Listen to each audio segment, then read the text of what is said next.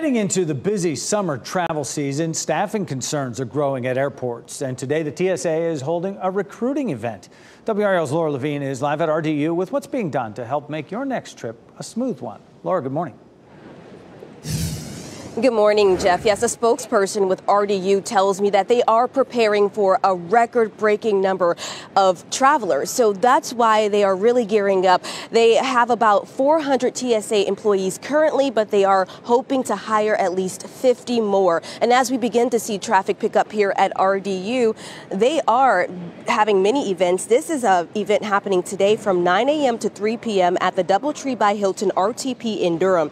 This big hiring push is also happening in eastern North Carolina this week. Officials are working to get ahead of staff shortages before peak travel season. A national shortage of air traffic controllers has major airlines making schedule cuts this summer to prevent delays. American Airlines plans to slash services at two major New York area, area airports, and both United Airlines and Delta are trimming up to up to 10% of their flights. So this will have a ripple effect on RDU travelers coming from RDU mostly have connections through um, the New York airports, Dulles, those sort of things. So I, you know, be on top of and rechecking your flights if you do have flights booked this summer.